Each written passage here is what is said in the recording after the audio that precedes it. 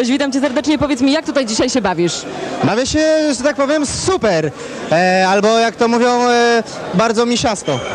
Misiasto, no dobra. A co sądzisz o muzyce, która dzisiaj, że tak powiem, tutaj e, rozbrzmiewała? Mm, konkrecik, no. Muzyczka jest w moim klimacie. Warszawski hip-hop.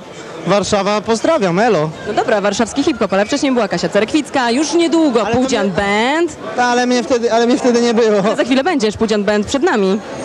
Mam nadzieję, że jestem w dobrym stanie, więc będę się dobrze bawił.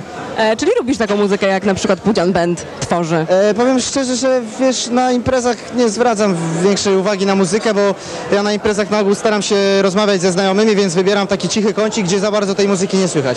Natomiast jak wybieram się na koncerty, to wtedy słucham muzyki, a że na koncerty wybieram się najczęściej hip-hopowe, to trafiłem dzisiaj właśnie na koncert hip-hopowy i jedynej muzyki, jakiej słuchałem, to hip-hopu.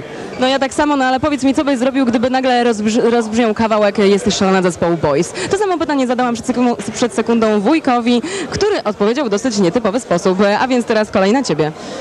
Jesteś szalona. Dokładnie, dokładnie. Co byś zrobił? Czy byś bawił się? Bo na przykład wujek powiedział, żeby szalał na parkiecie przy tym kawałku. Myślę, że nie ma problemu, naprawdę. No, imprezy są od tego, żeby się bawić i moim zdaniem e, można się, nie wiem, można się szufladkować z muzyką, jak się jej słucha w domu. Natomiast jeżeli jesteśmy na imprezie, to, to trzeba się po prostu bawić i nieważne jaka jest muzyka. Bawmy I się. nawet jeżeli za chwilę by się pojawił jakiś taki zespół, to byś się przy nim Nawet jak świetnie się bawił. pojawi Pudzian Band, to będziemy się bawić.